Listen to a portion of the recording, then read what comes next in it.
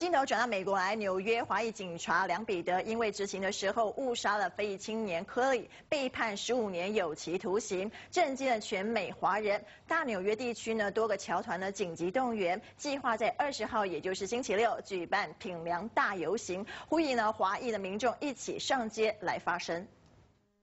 我呼吁华人、华侨社团全力出来支持梁警官。同时，也在自己力所能及的范围内捐款支持梁警官这个聘请有经验、有资历的律师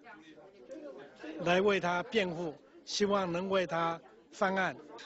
一个儿子，他在知道了梁警官这件事以后，还是坚持要去当警察。作为一个母亲，所以我们今天站出来，不仅仅是作为一个华人的呃的一个一部分，也是作为一个母亲，我呼吁我们的华人的啊全部团结起来啊，呃为我们的梁警官争取一个量刑最少的啊，让他这个孩子有这个重生的一个机会。我们民众大家在热情高度要。捐款要示威要支持梁警官的时候，我们千万要留意，呃，不从表达形式、内容、标语，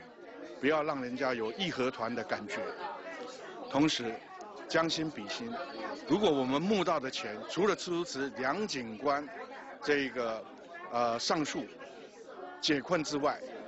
我们把部分的款捐给死去的。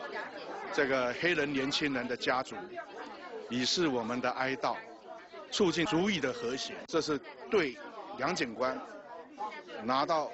更低、更少的刑期最好的帮助。